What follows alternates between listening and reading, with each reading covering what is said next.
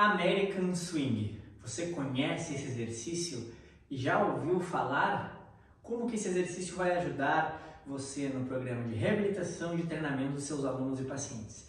Vem comigo que eu vou te mostrar tudo sobre esse movimento e como trabalhar suas progressões.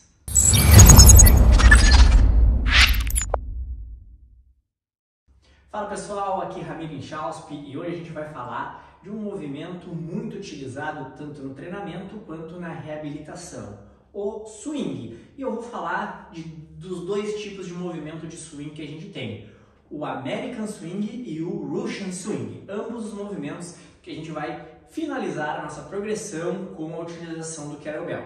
Antes de darmos início, não se esqueça de se inscrever aqui no canal, de deixar o seu joinha e também deixar o seu comentário com sugestões, com dúvidas, com o que você quiser. Quanto mais você comentar, quanto mais você divulgar esse nosso trabalho, mais a gente vai trazer vídeos aqui para vocês. Então, vamos lá.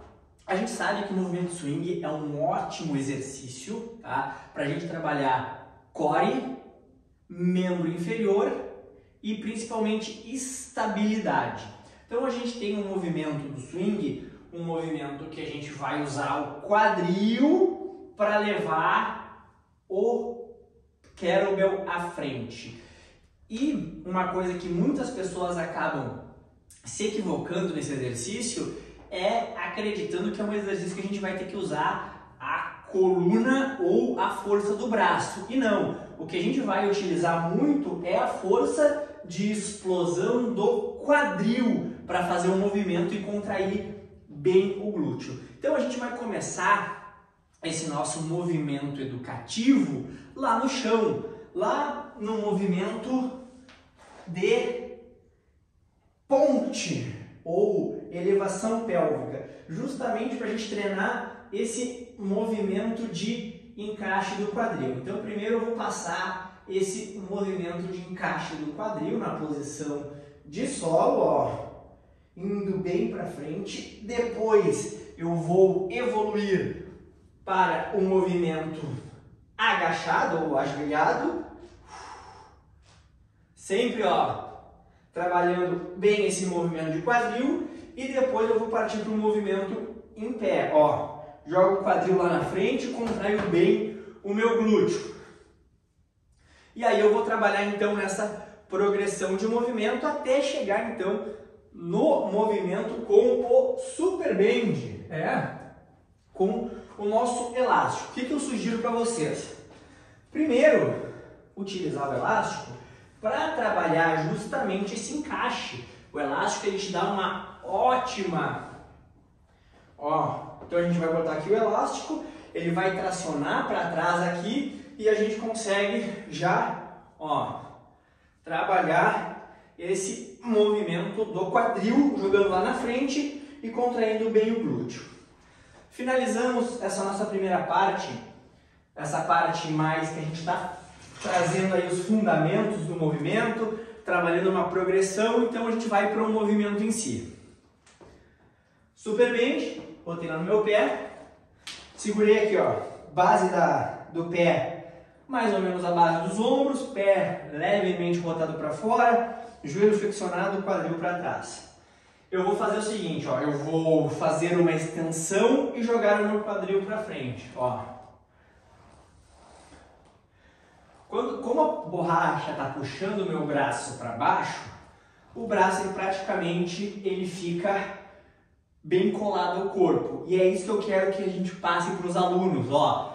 Quando vai ter esse movimento final, o quadril empurra o braço, ó. Quadril empurra o braço. Muita atenção lombar, ó. Eu faço uma extensão da coluna e não uma flexão, ó. Extensão da coluna, ombro para trás. E aí eu começo a trabalhar o movimento com o elástico. Senti que o movimento com uma super band já tá legal, que eu já posso dar um passinho a mais com o meu aluno, então eu vou para o kettlebell.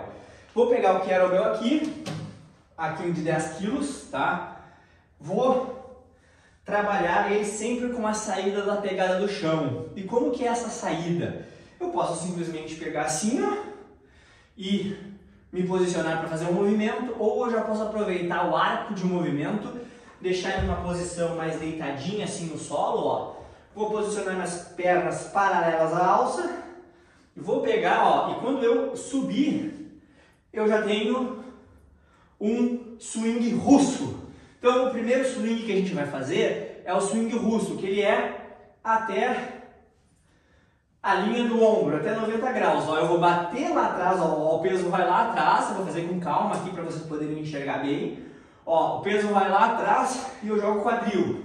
Ó, eu só vou ter ação do quadril para ir para trás quando o meu braço bate na perna. Então, subiu, bateu na perna, o meu braço joga o quadril para trás, o meu braço fica colado na minha perna e aí eu contraio meu glúteo e jogo lá na frente.